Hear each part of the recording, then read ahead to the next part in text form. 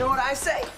What do you say? I say we celebrate with pudding.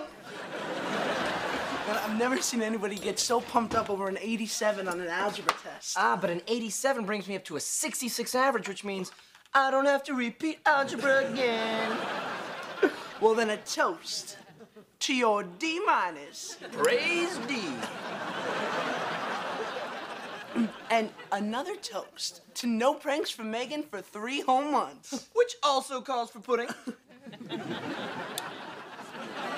oh, speaking of that, I better get upstairs so I can feed uh Bob. Be right back. I'm gonna get us some drinks.